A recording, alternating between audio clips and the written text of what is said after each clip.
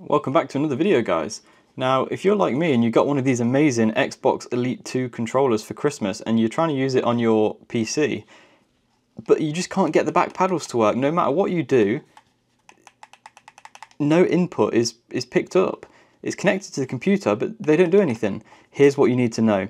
Where if you see that there's no lights here that means that you're in controller mode zero, which essentially disables the back paddles. All you need to do is press this middle button between the options button and the start button, and you'll get a couple of lights pop up. When you press it once, it's one light, you press it twice, it's two lights, you press it three times, it's three lights, and a fourth time turns it off.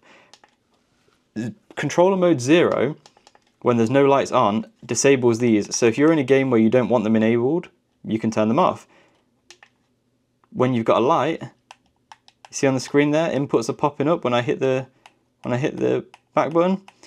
That means we're in profile mode 1 or controller mode 1. Now, you've probably guessed it, if you press it again, you're in controller mode 2, and you press it again, you're in controller mode 3. The reason you get three modes is because let's say you're on Call of Duty and you want to have this one be your slide cancel and this one be your melee, well, you can do that. And then let's say you hop into Elden Ring or Spider-Man or any other game, you can press the middle button again and go to controller mode 2, and now these things are remapped to completely different buttons.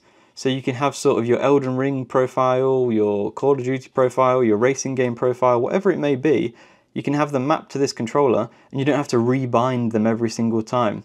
So if I just show you here. I've got them on my Call of Duty profile at the moment. I'll go to mode 1 and you can see that when I do this one, oh, I better show you the controller, hadn't I? When I do the one on the right, it pushes right stick in for me to slide and when I do the one on the left, it pushes B for me to melee. So that's how you do it. It's not broken, you don't need to fix it. It's just all about this profile modes here. So thanks for watching and I'll see you again in the next one.